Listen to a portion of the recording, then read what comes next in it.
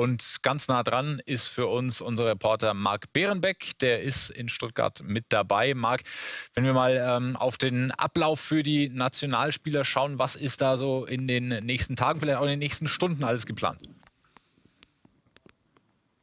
Genau das, wo wir gerade stehen, nämlich Training. Ja, und der grüne Rasen ist schon vorbereitet. In der Stunde und 15 beginnt das erste Training seit zehn Monaten der deutschen Fußballnationalmannschaft. Das muss man sich nochmal auf der Zunge zergehen lassen. Leider im negativen Sinne wegen, ja, wir wissen es alle, der Pandemie. Aber die Nationalmannschaft ist im Hotel angekommen, hat die Corona-Tests absolviert. Der Nachmittag wurde dafür genutzt, um diese Tests dann auch über die Bühne zu bekommen. Und um Viertel nach sechs ist dann die erste Einheit hier angesetzt. Das ist der Trainingsplatz von den Stuttgarter Kickers. Eigentlich wollte man im Stadion der Kickers trainieren, dem Gazzi-Stadion hier ähm, in Stuttgart-Degerloch. Allerdings, dem strengen Auge von Hobbygärtner Jogi Löw hat der Rasen nicht standgehalten, war nicht gut genug und deswegen ist der Teppich jetzt auf jeden Fall derjenige, welcher, auf dem die deutsche Nationalmannschaft dann gleich auch trainiert. Einer, der sicher im Fokus stehen wird, das ist äh, Kai Havertz. Wie weit ist da die Geschichte mit dem Chelsea-Wechsel? Was sind da deine Infos?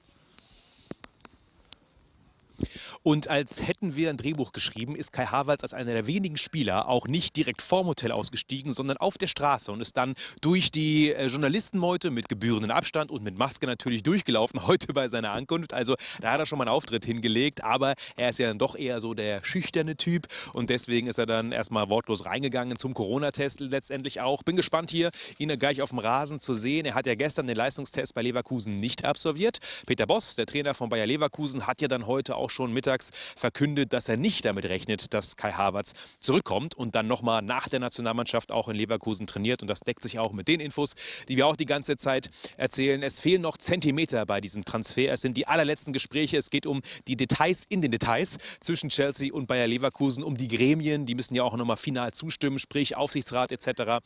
Ähm, ja, und dann müsste das Ding bald über die Bühne gehen. Bleibt spannend, ob er dann wirklich die ganze Zeit bei der Nationalmannschaft bleibt, ob er um Freigabe gebittet, um ein Medizin Medizincheck zu machen, ob er den erst danach observiert. Also spannende Zeiten, vor allem um das Top-Talent des deutschen Fußballs, der kurz, ganz, ganz kurz vor dem Wechsel zu Chelsea steht. Ja, sind wir sehr gespannt, wie schnell das möglicherweise dann doch über die Bühne geht. Dann haben wir noch drei Debütanten dabei. Ähm, bei wem siehst du da am ehesten eine Chance auf einen Einsatz? Ja, eigentlich bei Robin Gosens muss ich ganz ehrlich sagen, weil seine Position ist eine, die hart umkämpft ist in der Nationalmannschaft. Die Konkurrenz ist zwar da, aber hat sich jetzt auch nicht so bewährt, dass sie unumstößlich wäre.